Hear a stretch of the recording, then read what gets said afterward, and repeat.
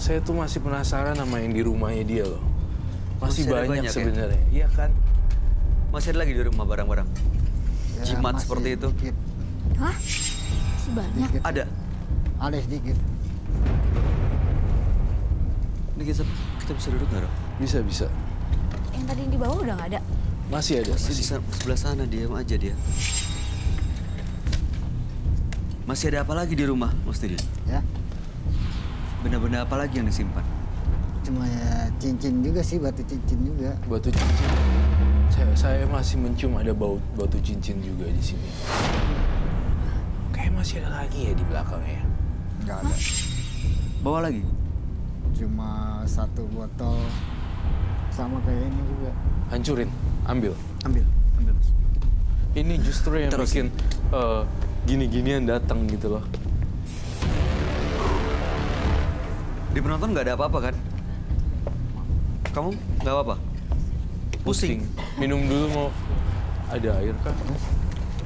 Minta air, air putih. This is something. Iya, I don't know delusi. Dalam sini Kayak halusinasi ini pasti halus. Dua-duanya tiba-tiba. Ya, Kaget. Ini apa hancurin sekarang. Di situ. Dibungkus dulu pakai kain ya, Iya. biar nggak ke mana-mana kacanya. Dibungkus, bungkus. Tadi suaranya benar-benar jelas banget ya. Iya. Jelas banget, jelas banget. Udah. Tuh, ada Ini suara lagi. gitu kan? Ini ada lagi, Ada lagi. ada suara lagi. Ada suara macan. Saya rasa siapa pun yang masuk pada hari ini, siapa namanya? Nah itu. Deg-degannya. Siapa pun yang masuk makhluk astral, sebutkan nama kamu siapa.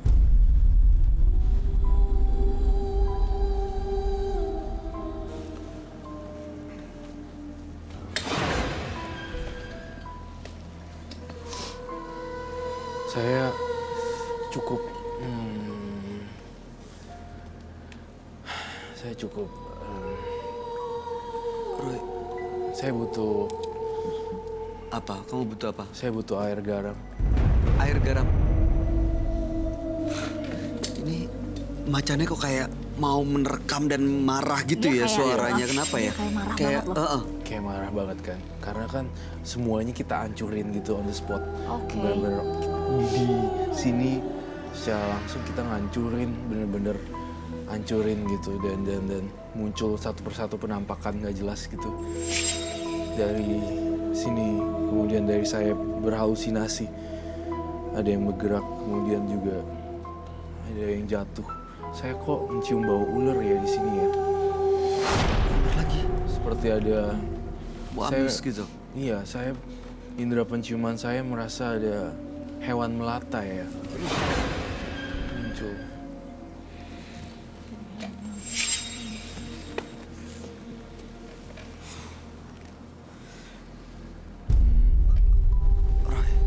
Banyak banget loh. Tadi kamu melihat kayak ada ular gitu, ada tokek dan sekarang ada suara macan. Ini mereka datang dari mana, Roy? Mereka datang dari jimat-jimatnya karena dihancurin jit- jimatnya.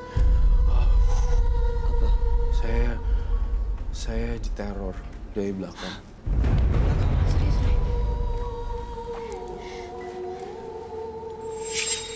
Kau pernah ngerasa seperti ini nggak, Mas Didin? Apanya? Anda pernah dengar suara atau diteror binatang-binatang ini di rumah? Enggak, cuman suara macan aja. Suara macan yang sering didengar. Iya. Suara macan yang kayak yang barusan saya rasakan benar-benar real. Saya lihat kamu harus banyak melakukan perbuatan baik loh. Ini bahaya banget. Karena bisa menyebabkan orang pantesan ya. Cewek bisa terjun ke kereta api gara-gara berhalusinasi ya. Saya butuh air kenapa air garam ini untuk apa, Roy?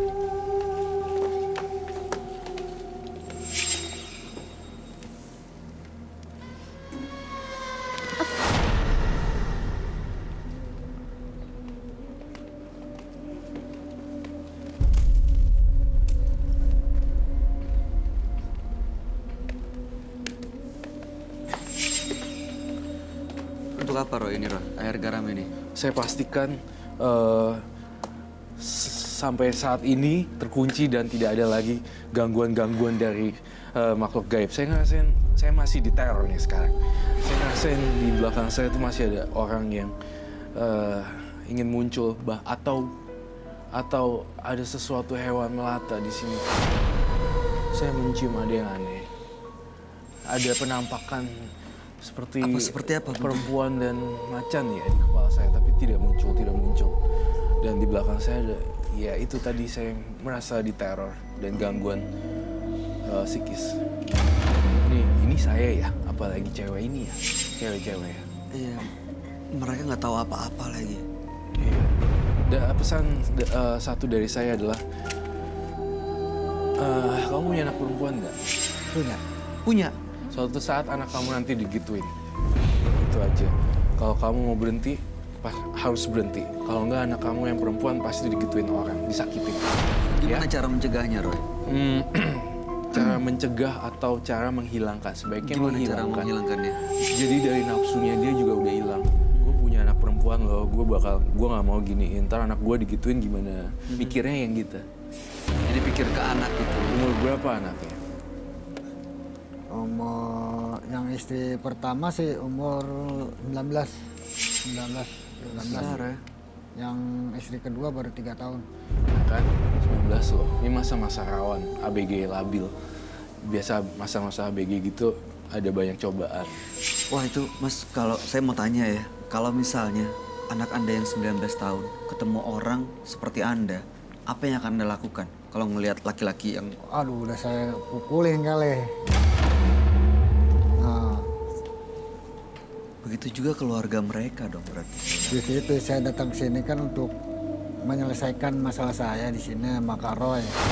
Biar jangan sampai ini lagi. iya pokoknya intinya gini eh, semua hancurin semuanya balikin ke orang-orang itu orang-orang dukun kalau emang udah ada yang meninggal terserah di, di, di, digeprok gitu loh pakai martil Jimat-jimat yang di rumah ya Roy. iya jimat-jimat yang di rumah dan segala macam biar nggak ada orang yang tersakiti kamu punya anak perempuan ingat aja nanti gitu kalau digituin sama laki-laki Iya. sebagai seorang ayah gimana rasanya ya Ya. itu pelajaran buat kamu dan kamu harus inget omongan Roy Kiyoshi hari ini malam hari ini Ki, sebagai perempuan, apa yang mau kamu sampaikan buat Didin? Ya, aku rasa ini adalah hal yang baik. Bapak ke sini udah niat baik untuk bertemu Roy, untuk menghilangkan segala macam itu. Aku rasa kita harus mendukung juga yang sekarang dilakukan. Nanti pengen berubah menjadi yang baik gitu. Amin. Tapi Amin, amin. saya rasa nanti tolong banyak berbuat baik ke depannya Pak. Karena takutnya nanti karmanya ke anak. Kasih anak-anak Bapak yang sekarang. Iya. Ya, 19 tahun ya. bertobat, minta sama Tuhan, bertobat atas perbuatan-perbuatan yang kemarin. Itu aja sih kalau dari saya. Karena saya perempuan, saya merasakan hal yang seperti ini tuh seperti apa rasanya, pasti juga bisa ngerasain gitu loh. Iyalah Ya, itu aja sih. Mas Didin, kami percaya bahwa perbuatan baik itu akan mengikis semua mental dan pikiran-pikiran jahat. Dan kami yakin masih ada sisi baik dalam Mas Didin. Apalagi Mas Didin nggak mau anaknya ketemu dengan sosok laki-laki seperti Mas Didin zaman dulu. Iya. Ya, jangan lupa pesan Roy Kiyoshi, jimat-jimat semua dihancurin, jangan sampai ada yang disisa. Dan mudah-mudahan ke depannya kehidupan keluarga Anda akan jauh lebih baik. Terima kasih sudah berbagi cerita di Menembus Mata Batin. Mudah-mudahan cerita Anda menjadi pelajaran buat kita semua. Dan Anda boleh meninggalkan studio. Amin. Ya. Ya, silakan. Demi kenikmatan sesaat, seseorang akan mati-matian untuk mendapatkannya. Tak sadar bahwa ia hanya mengejar kesenangan belaka yang akan membuat dirinya terikat dan terus melakukannya. Thank you.